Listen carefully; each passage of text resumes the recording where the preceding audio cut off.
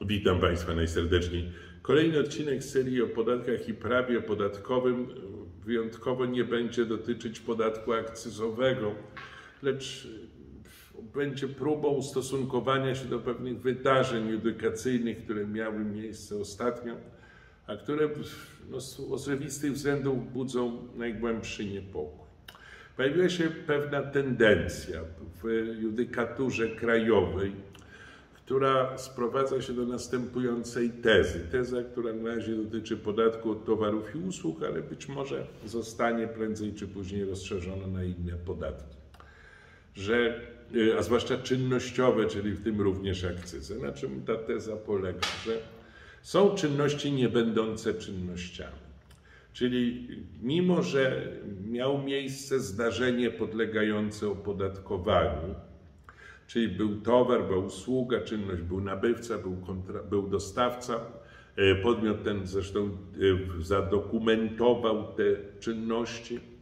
To jednak e, uznaje się, że tych czynności nie było, czyli nie było ich w sensie nie, nie, nie, nie powstał obowiązek podatkowy, czyli zaprzecza się ustawie. Ustawie, się ustawie jest napisane, kto wykonał czynność bez względu na cel i tak, bez względu na cel, to jest bardzo ważne, to jest treść przepisu.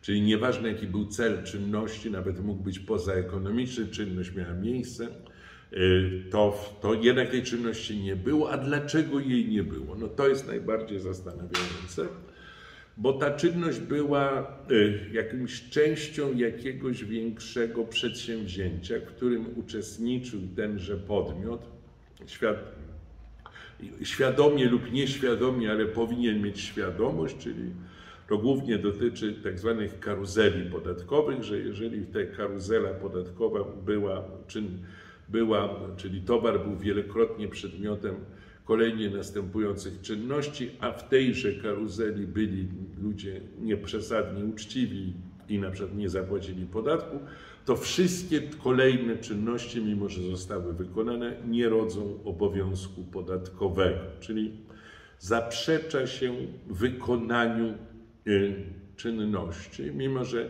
czyli nie ma skutku ex lege. No to jest oczywiście dla większości, to jest trudne do zrozumienia, więc ja postaram się, ja też staram się to zrozumieć, i, a wytłumaczyć tak, jak potrafię, że y, jeżeli była ta karuzela podatkowa. Karuzela to jest ilość rzeczywiście po sobie następujących czynności. Mówimy o tak zwanej karuzeli materialnej, czyli nie obrotu fikcji, fikcyjnymi fakturami, ale rzeczywistymi towarami.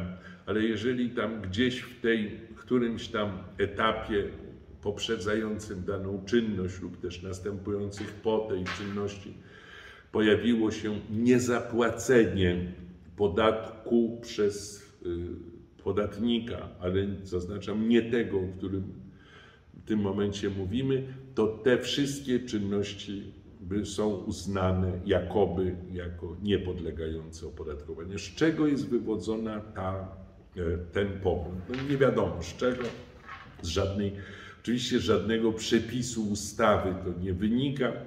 Czynność, y, czynność jest zjawiskiem obiektywnym, stan psychiczny i też stan świadomości podatnika nie ma tu żadnego znaczenia. On może nawet nie mieć świadomości, że jest podatnikiem, bo jest podatnikiem z mocy prawa. No to jest cała tajemnica tego, co powstaje z mocy prawa. No, jak to wytłumaczyć po ludzku? No po prostu powiedzmy tak, jest zdarzenie. Zdarzeniem jest yy, rzecz materialna istniejąca, czy istnienie tej rzeczy materialnej, towaru, czy też usługi, czy o charakterze materialnym, czy też niematerialnym, i następnie mamy jej wykonanie czynności. W przypadku wykonania czynności jest po prostu wykonanie usługi na rzecz kogoś, czyli nie ma usługi wykonanej na rzecz nie, na rzecz wszystkich, jest zawsze musi być usługobiorca, tak samo tu musi być wykonanie czynności, polega na czym?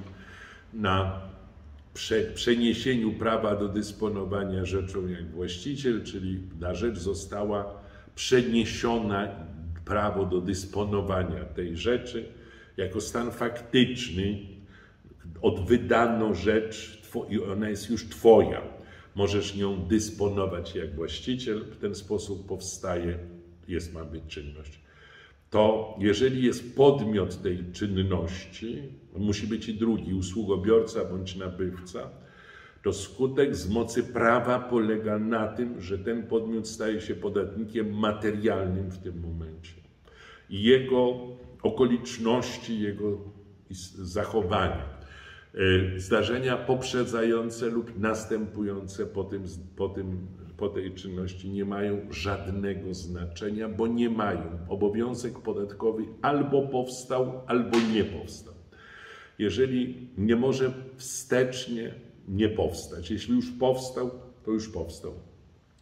Jeżeli następnie ten towar wrócił do naszego kraju, bo był wynikiem właśnie owej karuzeli, to nie, może, nie ma tu skutku retrospektywnego, ani tym bardziej retroaktywnego.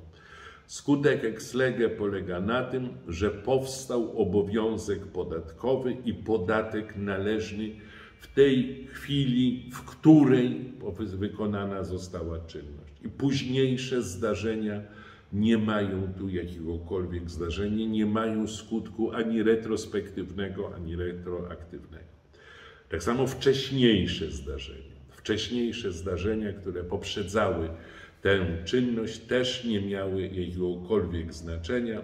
Można jedynym przypadkiem, z którym można się spierać, to jest problem paserstwa, czyli e, sprzedaży towaru, sprzedaży w rozumieniu oczywiście potocznym towaru pochodzącego z przestępstwa, czyli ukradzionego, czyli nemo plus juris in alium transfere potest quam ipse habet. Nie mogłeś przenieść więcej praw niż ich miałeś, skoro nie byłeś właścicielem, to nie mogłeś przenieść prawa do prawa własności. Natomiast nawet tu są E, poglądy przeciwne, które mówią, przepraszam bardzo, to nie ma żadnego znaczenia. E, to jest jak właściciel, a nie jako właściciel, czyli w związku z tym, jeżeli jesteś przekonany o tym, że jesteś, pod, że jesteś właścicielem, to znaczy, że czynność ma miejsce, nawet gdy tego skutku cywilnoprawnego by nie było. Więc nie wiem, gdzie się zagubiliśmy w tym w ewolucji wiedzy podatkowej, bo to jest wiedza zasadnicza. Skutek ex lege powstania obowiązku podatkowego i podatku należnego jest skutkiem, którego nie można znieść, sensie znieść w tym znaczeniu, że późniejsze zdarzenia zlikwidują wstecznie ten obowiązek, na tak samo wcześniejsze zdarzenia nie mogą powodować Y, y, zdarzenia, które nie dotyczą tegoż podmiotu, tej czynności, nie mogą powodować, że tego skutku ex lega nie będzie. Albo prawo jest, albo prawa nie ma. Prawo, istotą prawa podatkowego jest bezpośrednie stosowanie norm prawnych przez podmioty prawa podatkowego.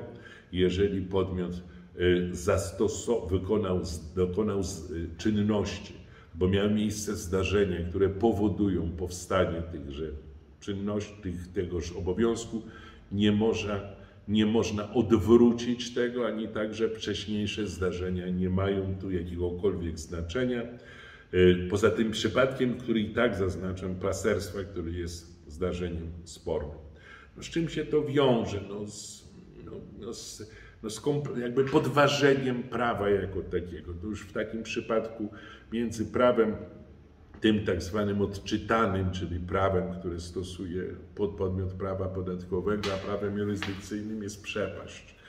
No bo podatnik nie jest w stanie zrozumieć, dlaczego ja nie jestem podatnikiem, skoro byłem podatnikiem, dlaczego ja się dopiero po latach dowiaduję, że jakieś okoliczności, których ja powinienem wiedzieć, bo tam się podkreśla ten element subiektywny, że ten podmiot powinien wiedzieć, nawet jak nie wiedział, że uczestniczy karuzeli, że to nie jest działalność gospodarcza. Y, chociaż, jak wiadomo, cel i rezultat działalności gospodarczej ustawowo nie jest istotny dla oceny, czy nastąpił skutek ex lege. Notabene wyroki Trybunału Sprawiedliwości są przeciwstawne. To, co się zdarzyło później, to, co zdarzyło się wcześniej, nie ma w ogóle żadnego znaczenia. Trzeba indywidualnie oceniać każdą czynność, a ona jest między dostawcą i usługo, i lub usługodawcą, a, a odbiorcą, nabywcą lub usługobiorcą i koniec. Nie ma tu dalszej historii, która tu by mogła na co w jakikolwiek sposób wpływać.